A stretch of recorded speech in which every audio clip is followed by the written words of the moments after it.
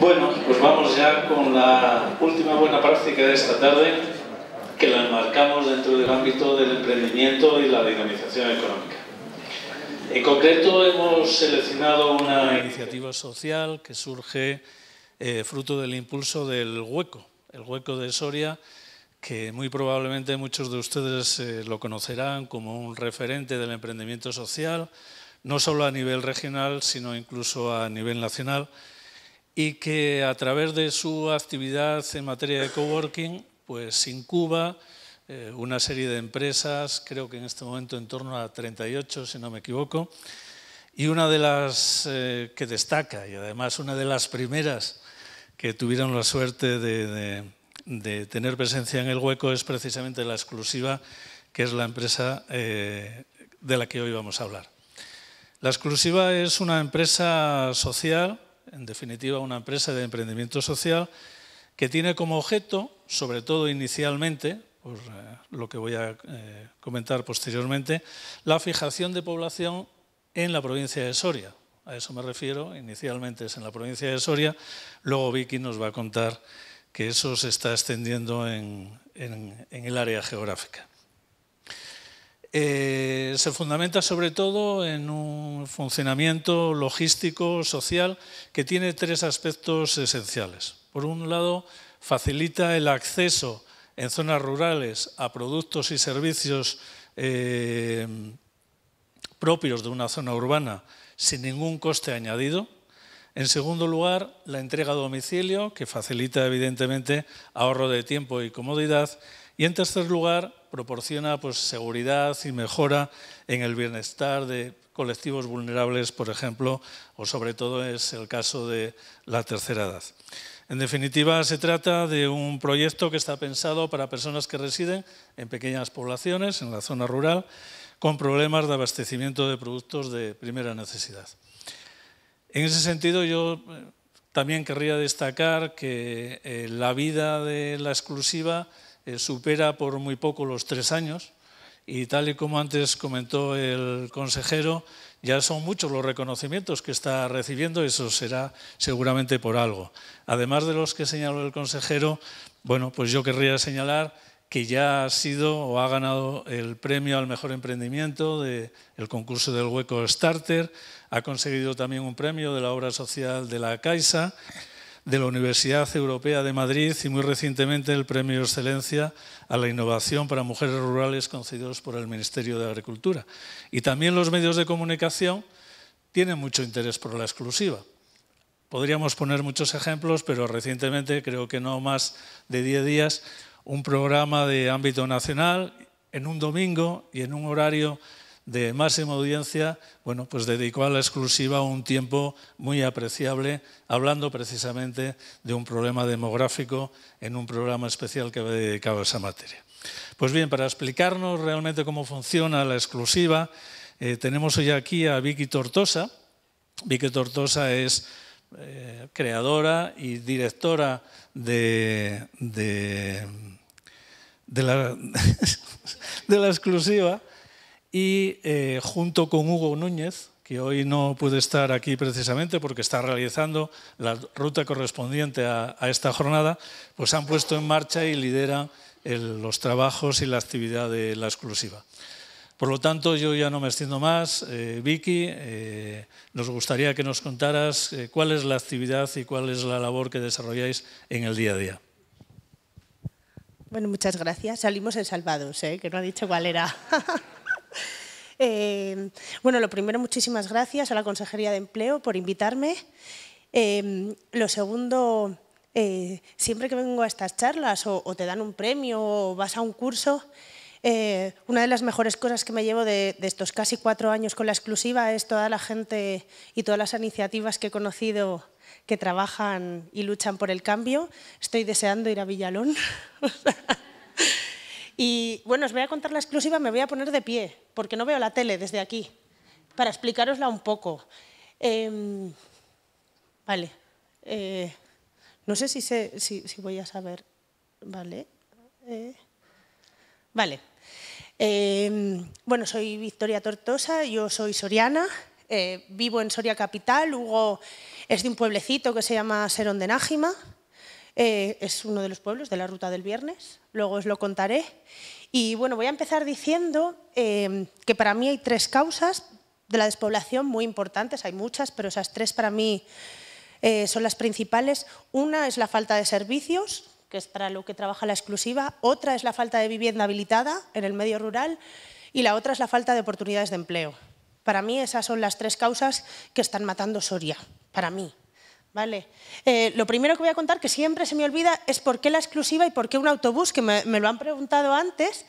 La exclusiva era el nombre del autobús que recorría los pueblecitos chiquititos de, Soria, de la zona de Tierras Altas, que es posiblemente la zona más despoblada de Europa, tienen un habitante por kilómetro cuadrado y, era el nexo entre la capital y el pueblo. ¿no? La capital mandaba en el autobús los medicamentos, la ropa y, demás, y, los del pueblo mandaban pues eso, la, gallina, los puerros y, todas esas cosas a los familiares de la capital. ¿no? Además se llamaba la exclusiva porque iba exclusivamente si le llamabas. Y, cuando pusimos en marcha la exclusiva, buscábamos un nombre que en el momento en que llegaras al, pueblo todo el mundo supiera lo que es, ¿no? Y es ese nexo entre la capital y el pueblo que para mí se perdió hace muchísimos años. Em, eh, muy importante contar de dónde sale la idea, porque no te levantas una mañana y de repente se te ocurre una empresa social para luchar contra la despoblación. Em, Hugo y yo teníamos, bueno, yo me dedicaba a la cooperación internacional y Hugo, que es mi pareja, em, tenía cinco tiendecitas en la provincia de Soria, en cinco pueblos muy chiquititos de la zona del campo de Gómara y además hacía dos días a la semana venta ambulante. ¿no? Él tenía su camión y durante 15 años el negocio fue muy bien, había gente en los pueblos y, funcionaba bien, pero en el año 2013 nos dimos cuenta, llevábamos ya un tiempo en el, que, en el que el modelo de negocio no era sostenible y además esto sumado a la crisis ¿no? y a la caída del estado del bienestar que, hizo que, la tienda, que el bar desapareciera, que los autobuses de línea regular desaparecieran, la farmacia desapareció, los coles cerraron. Eh, de repente, un día es que nos damos cuenta de, que no hay gente en los pueblos. Entonces, concretamente, y nunca se me olvidará, el 30 de junio de 2013 decidimos cerrar las tiendas. Em, ¿Qué nos ocurre? Que cerramos las tiendas y, a la semana de cerrar las tiendas, toda esa gente que sigue viviendo en los pueblos, que todavía es mucha, y que no se quiere marchar de ninguna manera, sobre todo gente muy mayor, eh, nos empieza a llamar para que le llevemos la compra a casa, porque o les llevamos la compra a casa o se van del pueblo. De hecho, muchos se marcharon y, no tardamos nada en empezar. Em, bueno, esto es un poco unos recortes de prensa contando qué le pasa a Soria, que todos lo sabéis. Em, bueno, Hugo y yo nos sentamos y, pensamos si podemos eh, crear, eh, no sé, reconvertirnos ¿no? y darle una vuelta al negocio tradicional y convertirlo en este caso en una empresa de logística, siempre con el objetivo de llegar a más gente y a más pueblos para que no se tengan que marchar y, hacerlo de una manera en la que sea sostenible económicamente, porque al final, eh, aunque tu objetivo sea social, o sea, para cumplir ese objetivo tienes que ser económicamente rentable, es lo que hay. Entonces, eh, bueno, se nos ocurre eh, crear una empresa de logística de reparto de servicios y productos a domicilio en los pueblos más chiquititos y más aislados de la provincia y además en su día no teníamos ni idea de lo que era esto. Por lo visto nos cargamos la línea de distribución del producto porque se nos ocurrió que para que vivir en un pueblo fuera más barato, debía de ser el proveedor quien pagara el servicio de la exclusiva y no fuera el cliente. Entonces, bueno, una locura. Para esto, bueno, aquí es Hugo con una de mis abuelas, que les llamo yo. Para esto, lo primero, eh, un estudio de campo, pueblo por pueblo, casa por casa, 518 municipios, con una encuesta escrita a mano y yo embarazada de nueve meses, preguntándoles, dónde hacían la compra, cada cuánto tiempo compraban, em, cuánta gente vivía de verdad en el pueblo, porque una cosa es los que hay censados y otra cosa es los que viven de verdad, y si les interesaría el servicio de la exclusiva, o sea, que les lleváramos la compra a casa, y si eso eh, podría ser una posibilidad para que no tuvieran que marcharse. Eh, hacemos el estudio de campo, y ahora os contaré lo que hicimos con él, y nos ponemos en contacto con el hueco.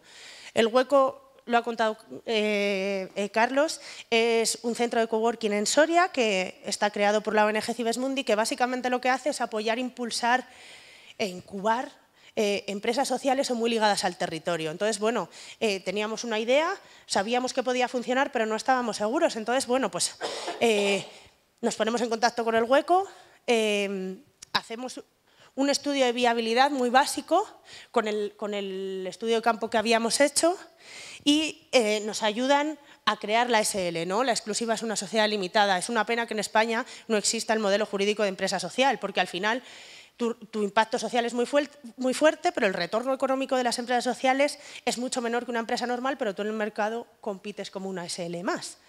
Entonces, a lo importante, negociación con proveedores. ¿Qué hicimos con las encuestas que hicimos?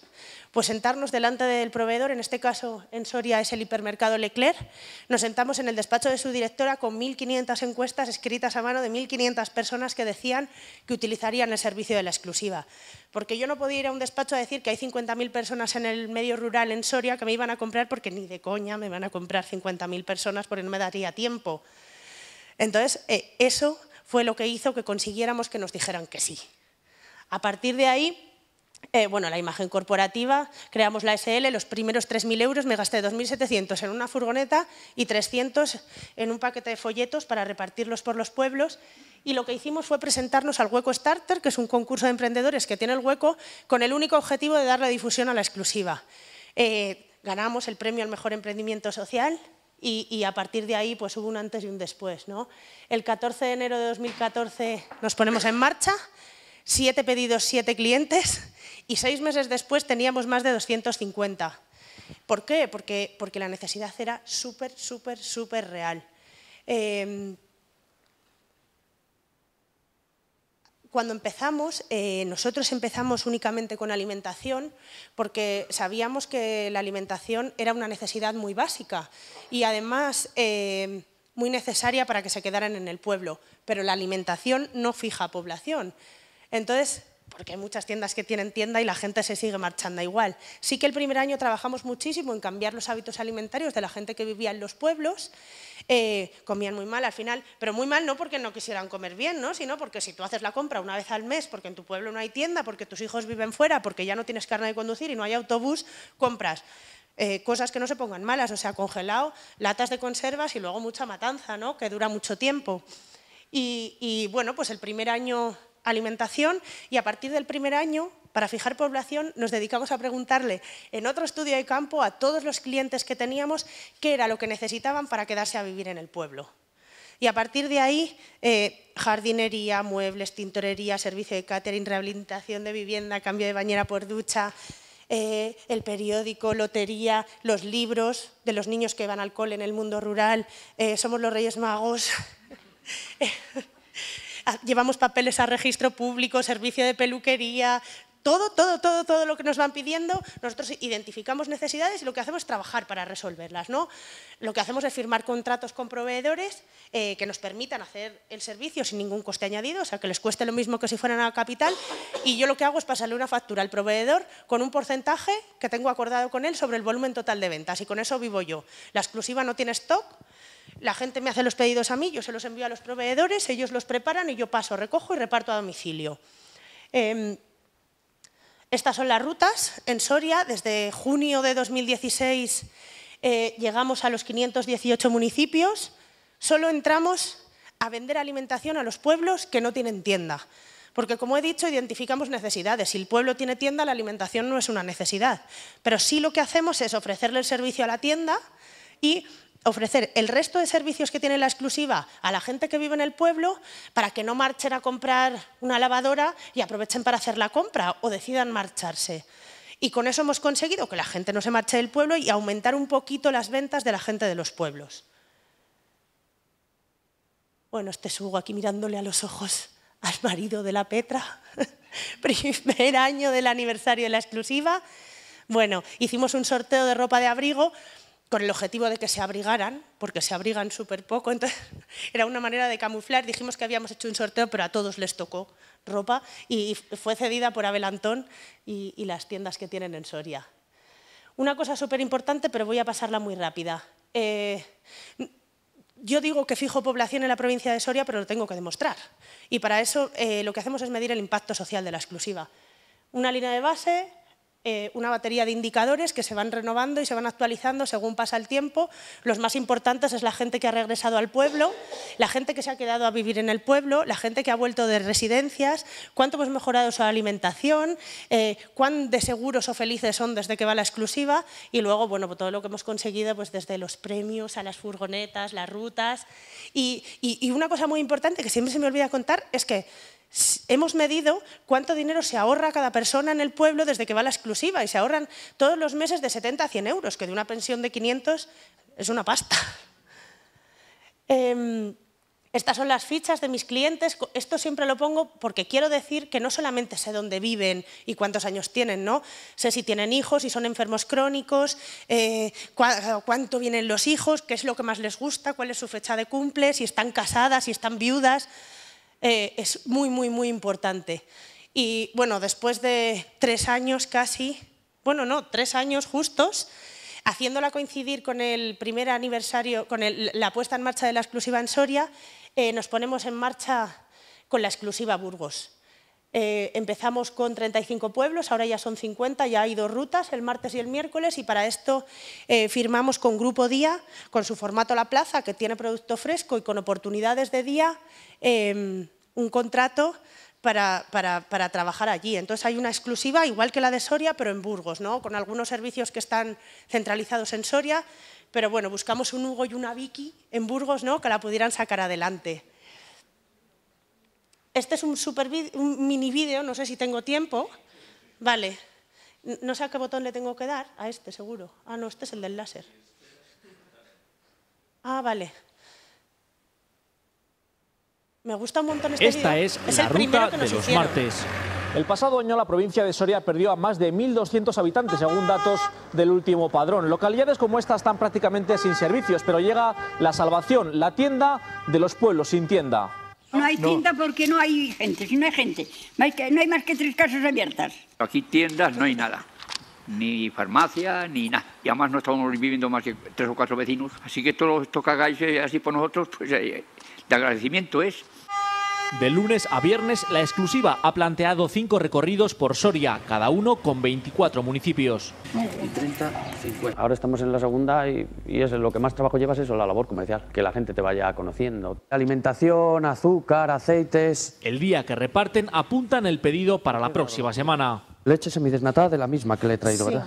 Un convenio con los proveedores ayuda a que el coste final del producto para los clientes sea el mismo que si lo comprara en la capital. El precio es el mismo que si fuera usted allá a comprarlo. A usted no le supone ningún gasto que, se lo traigan. Surte además a bares o despachos alejados de la ciudad. ¿Qué tal va? Ofrece incluso servicio de lavandería. Oye, mira, tengo estas mantas que las, que las quería llevar a una lavandería y no tengo forma aquí en el pueblo de pues bueno, me las echa al furgón, yo las dejo en Soria, al día siguiente me da el ticket, yo se las traigo a la mujer, revistas, periódicos, cualquier cosa que necesiten.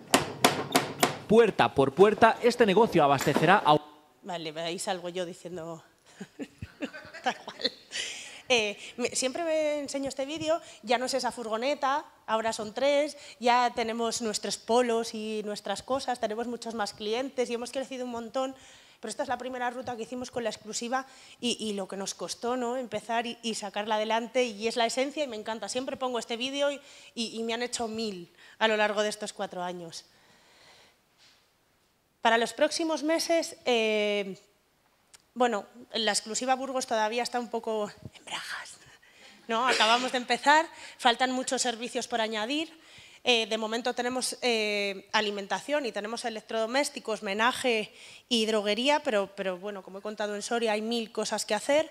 Eh, solamente tenemos 50 pueblos de 370, que creo que hay en Burgos, y, queda mucho que trabajar. Para eso hay que contratar a más gente y hay que invertir un poco en software de gestión. Al principio se puede hacer toda a mano y en Excel, luego ya no, es imposible. Tenemos previsto abrir la exclusiva a la tercera edad en Soria, solo con algunos productos, porque nos hemos dado cuenta que la carne y el pescado sí que bajan a comprarlo, pero hay cosas que les pesan mucho y que además ir a los centros, a, los hipermercados les da un poco de miedo. Eh, entonces, bueno, es algo que nos hemos planteado y que posiblemente haremos. Las aulas de la tercera edad es un programa que tiene el ayuntamiento que están 800 abuelos juntos. Entonces, lo que habrá es un centro de acopio para que lleven una vida más tranquila.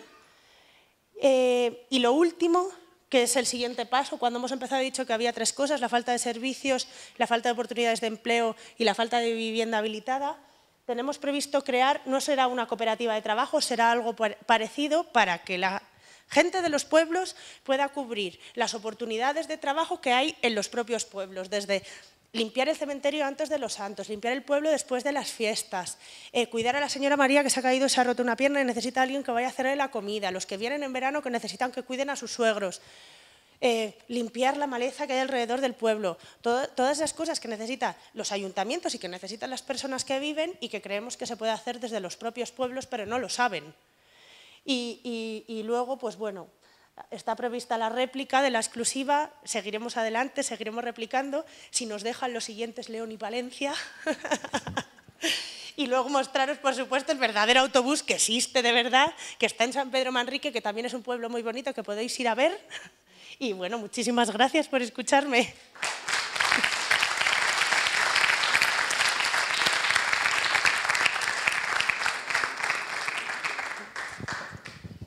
Muchas gracias, Vicky. Ya para terminar, porque además yo creo que estamos cumpliendo muy bien todos el horario, una pregunta doble. ¿eh? Eh, nos has hablado, tenemos implantado la exclusiva en Soria. Estamos empezando a implantarla en Burgos. Tenemos en proyectos León y Palencia. Eh, ¿Podremos ver de aquí a un periodo de tiempo razonable la exclusiva en un ámbito regional? Esa es la primera parte.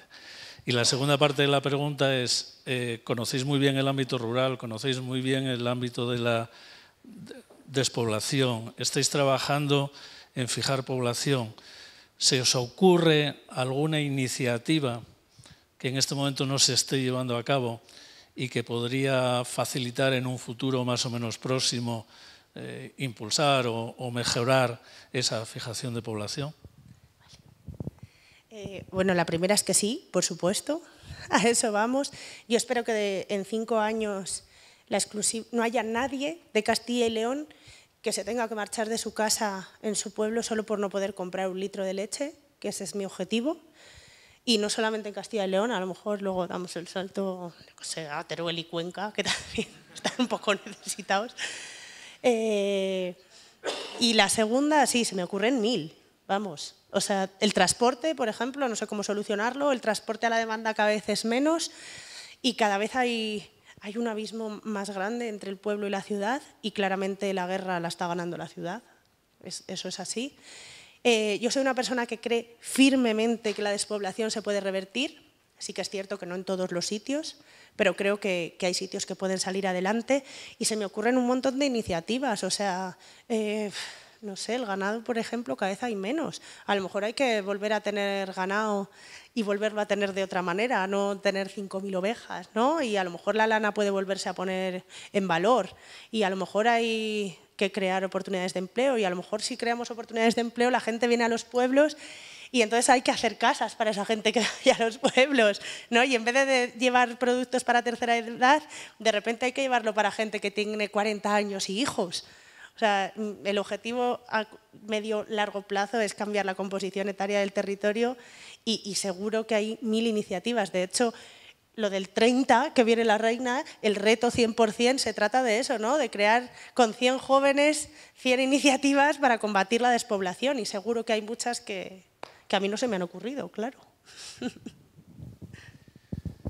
Muy bien, pues muchísimas gracias Vicky, enhorabuena por el trabajo tan excelente que estáis haciendo y además en un periodo de tiempo tan corto y nuestros mayores deseos de éxito, no solo por el éxito de la exclusiva, sino porque vuestro éxito conseguirá fijar población y ese es el objetivo que nos planteamos todos los que hoy estamos en esta sala.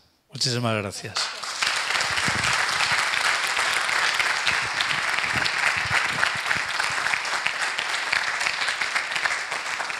Y con la intervención de Vicky sobre la exclusiva damos por finalizado este acto. Esperamos que en un breve espacio de tiempo podamos disfrutar de una tarde como la de hoy y podamos eh, tener tres casos de buenas prácticas como los que hemos disfrutado hoy. Nada más y muchas gracias.